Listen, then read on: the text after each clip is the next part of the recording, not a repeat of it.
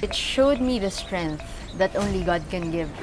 It is the same strength that I felt during the time that I was working on the painting, and it was definitely the same strength that the Filipino people have. Haligi was a painting that I did for the Department of Public Works and Highways to commemorate their 123rd anniversary. And again, I was very honored to be the artist who will be able to envision what the whole department is going through this pandemic and at the same time show their strength, once again, that came from the Lord.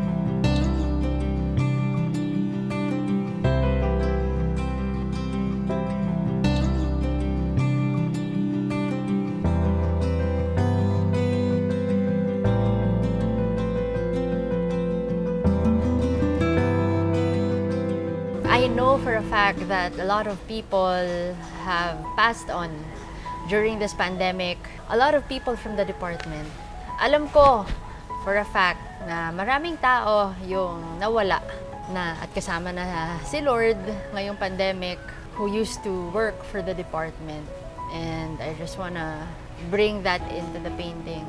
I also want to take this opportunity to commend all their hard works kung hindi man natin siya nakikita na naipapalabas sa news, alamang nadadaanan po natin ang kanilang ginawang mga infrastructures and hindi po ito madali dahil may mga pamilya din po ang mga taong nagtatrabaho para sa kanila. From the officials down to the people who are working on the road, the laborers, the construction workers.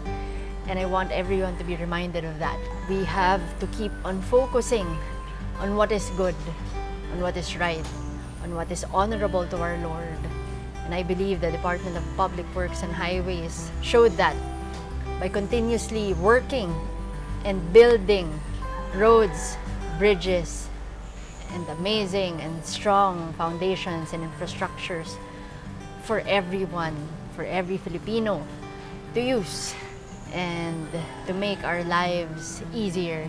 I would also like to say that I'm very, very amazed with Secretary Mark Villar for being the source of strength of many of the people, not just in his department, but in our whole country as well.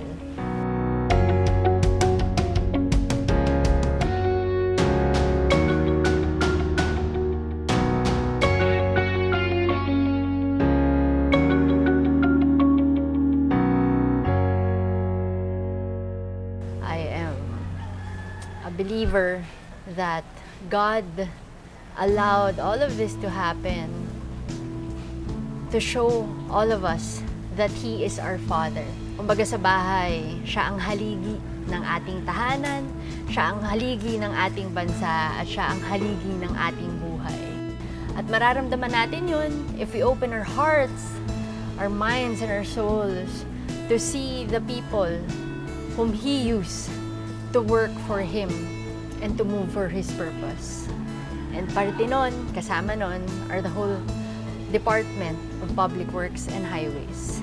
And of course, our Honorable Secretary, Mark Aguilar Villar. And I also would like to dedicate Haligi not just to the people who are working for DPWH, but also to every Filipinos, lalo na sa mga ama dyan ng tahanan na patuloy na sumusuporta sa kanilang mga pamilya. Pandemic man o hindi, andyan yan yung mga tatay sa buhay natin. Maraming maraming salamat po sa inyo lahat. Yung haligi ay para sa inyo. Saludo ako sa mga haligi ng tahanan at saludo ako palagi sa haligi nating lahat, which is our Father in Heaven.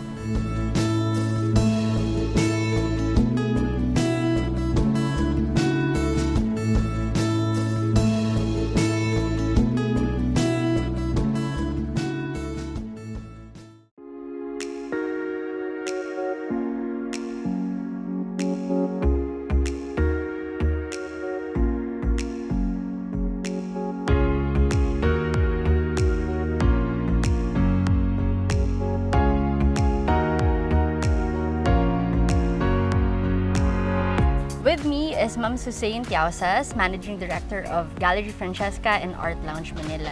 And she was with me during the time when we turned over the painting to DPWH. And thank you, Tita, for being there with me. Of course, my pleasure. And I just want you to perhaps take this opportunity to share to everyone what Haligi is all about to you. And perhaps share a message to those people who are watching. Thank you, Christine.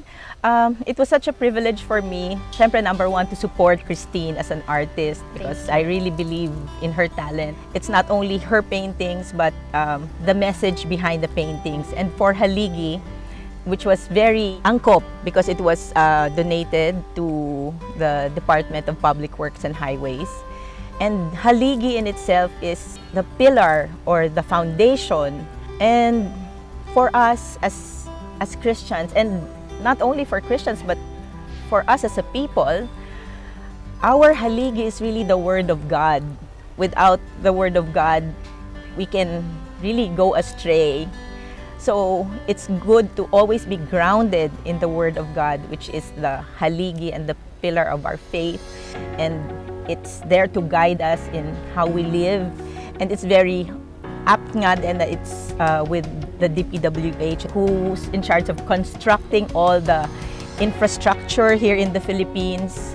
As we uh, continue to delve in the Word of God and study it and isa pamuhay yun, magiging maganda ang structure ng ating buhay at hindi tayo mapapariwara because the Word of God is always true. The Word of God is always uh, timely.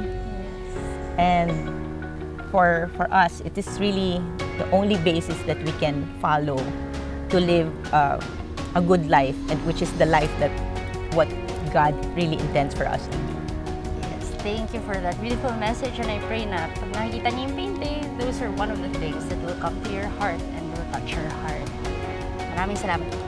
Thank you. Thank you.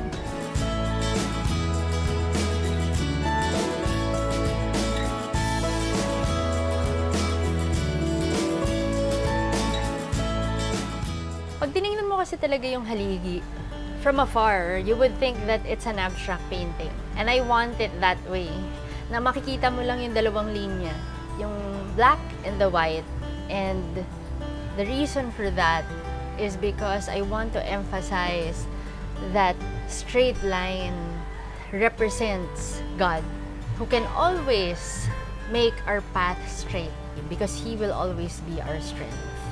And without our strength coming from the Lord, we won't have enough strength on our own to be the foundation of the people around us, to be the strength of the people around us, especially, of course, sa mga nagsisilbing haligi ng tahanan. Hindi ko pala sinasabing tatay lang yung haligi ng tahanan, pero sinasabi ko din na pwedeng maging anak, pwedeng maging asawa, pwedeng maging nanay, pwede din tayo magiging haligi sa ating mga kaibigan, sa mga taong nagtatrabaho para sa atin at mga taong pinagtatrabahuan natin. We have to be the strength. Kailangan natin maging haligi ng isa't isa sa mga panahong ito. At yun ang gusto ko ipakita sa painting na ginawa ko. At pag nilapitan mo si Haligi, dun mo na makikita yung mga elements that I used. And you will see that yung puting linya, isa pala siyang dire-diretsong waterfall. So, straight from the sky, down to the ground, and continuously flowing, never ending. And makikita nyo merong kalabaw doon. It represents our workers, the department who keeps on pressing on, who keeps on working continuously to build, build, build the things that our country needs. And by building, eh, they are able to nourish us for our country to develop and bloom into something better, something greater. The reason why that waterfall, kung makita nyo, galing talaga siyang sa taas. At continuously lang siya, pababa at pababa. Because I know tayo ay resource ng isa't isa. resource of strength, resource of financial support, resource of joy, happiness, everything. But I want us to be reminded that there are a lot of resources available out there. Um, DPWH is a resource of many, many amazing infrastructures. But God will continuously be the ultimate source of all our resource.